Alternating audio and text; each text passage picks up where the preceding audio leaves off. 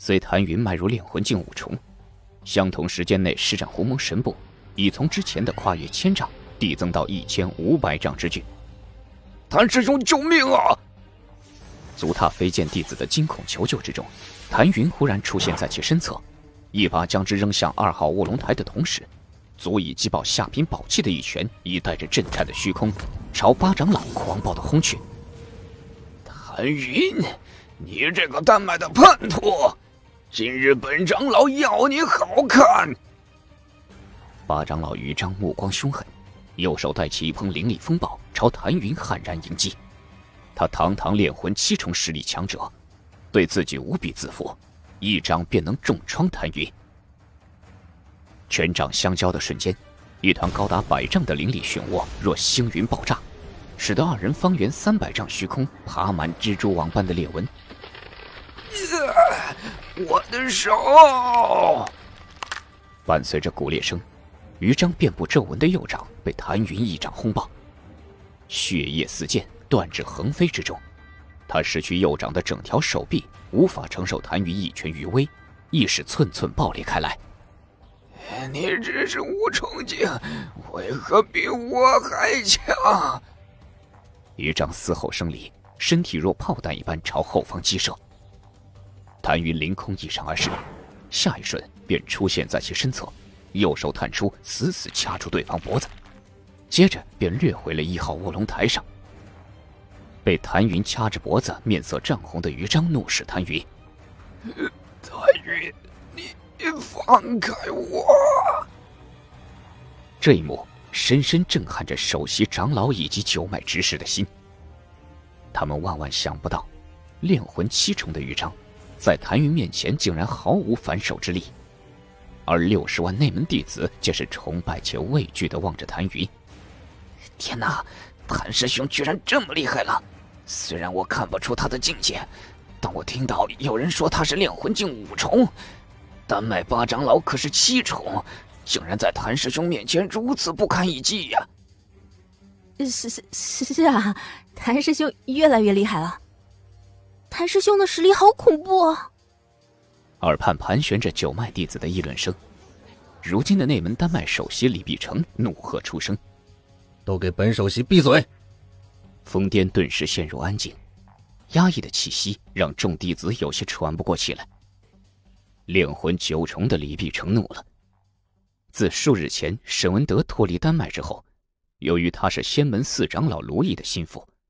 尽管并非内门丹脉一干长老中实力最强者，但还是登上了内门丹脉首席之位。此刻，已经在三座卧龙台上的两千多名丹麦弟子看着李碧城，一个个诚惶诚恐，瑟瑟发抖。没什么可怕的，都深吸一口气，一切有我。是谭师兄。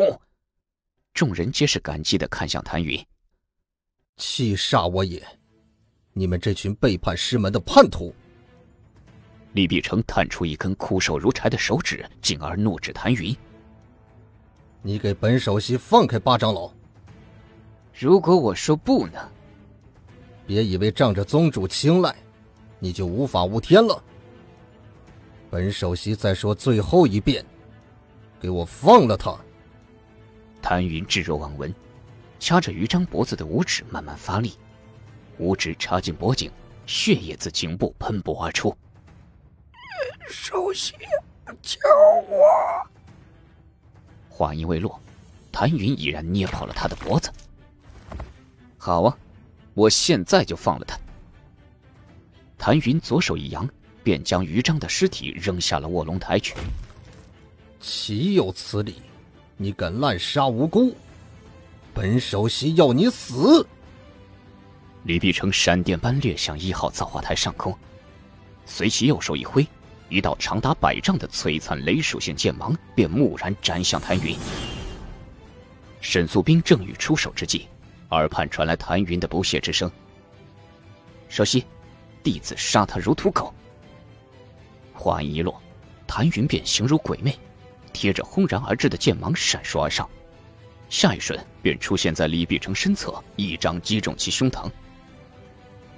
谭云炼魂境三重时，便能击杀炼魂九重修士中的佼佼者侯爷，何况现在以炼魂五重实力对付李碧城，别说实力了，单单只是速度，谭云也快出李碧城三倍。